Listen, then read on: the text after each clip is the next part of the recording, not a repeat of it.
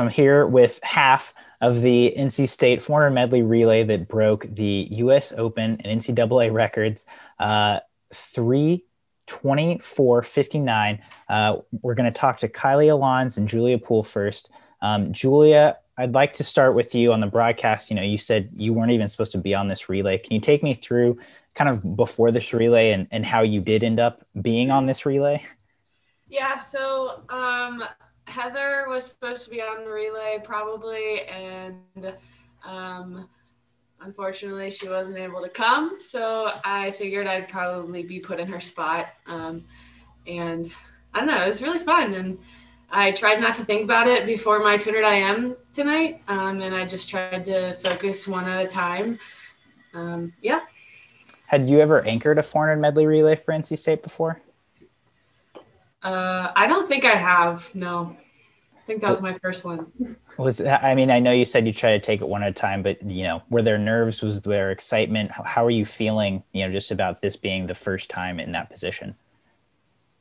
Oh, I was incredibly nervous. Um, obviously, the competition that we were up against was pretty big too, so I knew I kind of had to just take it as it came, and I stepped up on the blocks and I just they gave me such a great lead and I was like, oh my gosh, we can be national champions. And so I just did everything I could to get my hands on that wall. Yeah. And then just more for both of you, you know, heading into this relay, was there a game plan? Was was the plan to get as big of a lead heading heading into Julia's leg? Um, did did Braden have a talk with you about this relay or did did you girls talk about it in the ready room or beforehand just because those four teams in the last heat were all so close. I think it was like three tenths, six tenths separated, all four of you, uh, seed time wise at least. I mean, honestly, um, we didn't really have like a talk like as a group with Braden or anything, but we had like a huddle right before, and we just kind of said, you know, the you know encouraging things and like safe starts. And, but it's pretty, it was pretty chill, honestly. Um, like we knew we knew we were all like prepared for it. Yeah. And you know, coming off of the relay, and Kylee, for you coming off of uh, the 50 free, how were you feeling heading into this relay? Was were you able to kind of take it one at a time tonight? Yeah, I felt pretty good. Like there was a good amount of time in between each race. Um, so like the 50 free was like so out of my mind by the time that relay came around. So it was good have a lot of time between. And then, you know, f- looking at the numbers, 49 29 on your split. Um, uh, obviously, you don't really think, oh, I want to go this fast in a relay. I'm guessing you just think I want to go fast. But have you have you been able to process that a little bit since then? Not really. It still seems surreal to me. Um, yeah, like I just I don't know where that came from because I don't know when 50 points have felt pretty good too. So, yeah.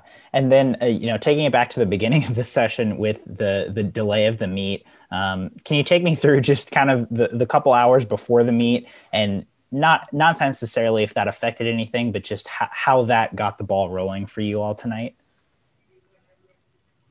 Um, I know that I walked in the building and they were like, "We're evacuating the stands," and I was like, "Oh my gosh, I like I knew the Division Two NCAA's got canceled yesterday for it, so I was a little nervous, but um, it went by pretty fast. It was kind of fun to just be around other teams and just talk in the locker room that we were in. Um, but once things got rolling again, it was kind of just business as usual, and we did our thing. Yeah. Kylee, any additional thoughts on on that kind of a weird start to the night? Yeah, it was really weird, but I think if anything, if this year has taught us anything, that it's that we can handle stuff like that. And um, so I don't think anybody was really too caught off guard, but we were glad that it wasn't like a super long delay. Yeah, same. um, and then, and then uh, you know, just winning NC State, NC State women's first ever program relay title. I'm, I'm guessing that had been a goal of the coaches. Had that been a goal uh, uh, for you as athletes? And did you think it would happen in this relay specifically? Yeah, like I feel like getting a relay title has always been a goal for us because it's never been done before. Um, we didn't pick any relay. Um, we have quite a few good relays, so we're trying. We just tried to go to into each relay with a fresh mind, and um, even though we didn't like win the tuna free, it didn't really change it, our mindset going into this one, which I think really helped us. And and then not only winning that first relay title, but you know um, obliterating the U.S. Open and NCAA records by half a second uh, was was that something that that was even had even crossed you all's mind of like not only winning but like ooh that that relay title no not at all um i i'm still like don't have words to say like i touched the wall and i was like did we just win like i it just there's so many things going through my head right now and um like I, it took us a while to realize we actually broke the record. I didn't even know that we had gotten a record. Like I just looked at that number one, and that's that was just yeah, that was enough uh, to to think about. that was enough for one day. I get it. Um, yeah. Well, yeah, Kylee, Julia, congratulations, and thank you so much for your time. I really appreciate it. And we're back with the the first half of the NC State 400 medley national champions, Katharine Berkoff, Sophie Hansson. Um, can you can you take me through each of your individual splits and kind of what you were thinking as as you were going through your swims? Honestly, I did not see that coming.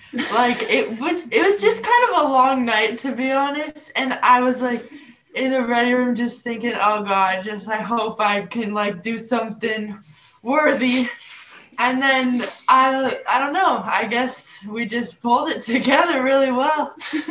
I was pretty hyped though. I guess I don't know. It was fun. Yeah, no, it was so much fun. Like she said, like we were kind of low key before and just like trying to have fun and like going with positive attitude. And then it, yeah, no, we all did so well and we're shocked but very happy. Yeah. Yeah, so I mean, backing it up, kind of starting the night with the uh, the delay of the meet. Did that, I mean, throw you at all? Was that? Can you tell me about how that kind of got the ball rolling for the session? I mean, it was only like a half an hour we got pushed back, yeah. and it did not throw me off. Like I knew everyone was in the same situation, and it was just kind of like accepting it. And they pushed back the competition, so we still had time for warm up and doing all our preparations. So it didn't bother me. Yeah, it kind of made the whole thing pretty lighthearted because we were able to joke about it, and I guess it was a good bonding experience for like everyone across all the teams. um, but I thought I don't know, it was kind of cool. First tornado, so I was pretty excited. they don't have tornadoes in Montana. No, not in Western Montana. Oh, okay, gotcha. Yeah. Um, and then uh, with with the 200 free relay, and then Katharine with your 50 free, you know, how was was it hard to get that energy up for the medley relay, having already done a relay, and then for uh, again Katharine on an individual as well? Yeah, I think that's why I was like kind of like nervous, I guess, for the medley, just because like my individual wasn't as good as I wanted it to be, but I was glad I could like put something up for the relay. That was pretty cool. But um yeah, I think it was kind of like a little draining, but I don't know. We were having a lot of fun in the ready room, which definitely helped a lot. Uh, Sophie, you were on the 200 free relay, right? Sorry? Were you on the 200 free relay as well? Yes, I was the last person. So what was that? What was the back to back like for you? Were you pretty prepared for those for both of those swims? Yeah, no, I was. Um, I didn't do the 50 free in between, so I had a lot of time, almost two hours between my races. And a 50 is so fast, and it doesn't really like get you really tired. So I was all ready for that, really. And then, you know, a couple of similar questions I asked the other two girls. I mean, heading into this relay, uh, was was the uh, was the U.S. Open and NCAA record a pretty big surprise for you all? Definitely. Yeah. Yeah. I didn't even know. like, I did not. I just was so oblivious. I just had no clue. I knew it was exciting. I just didn't know we got the. That was pretty cool. Nice surprise yeah, and then I mean, can can you just put into words, um, what it means to have been a part of NC State's first ever women's relay title in program history?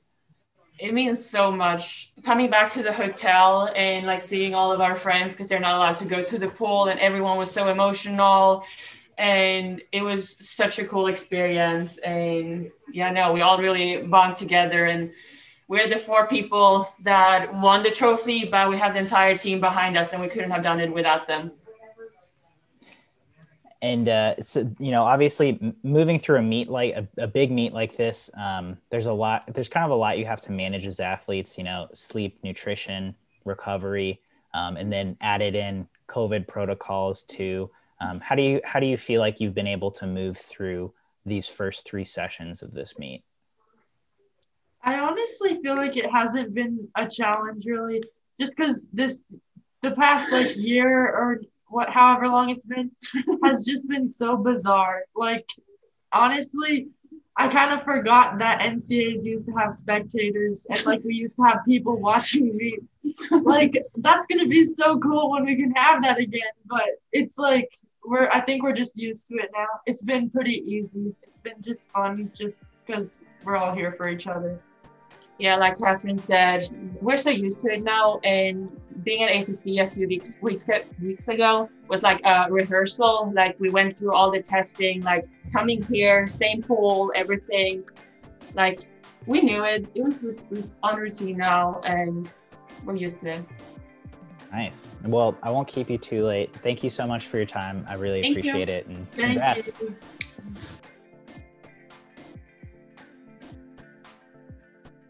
You've been listening to the Swim Swam podcast. Stay tuned for new episodes every week. You can take Swim Swam podcast on the go by subscribing on your favorite podcast platform. Look for links in the description below and be sure to subscribe to our YouTube channel for more videos as well.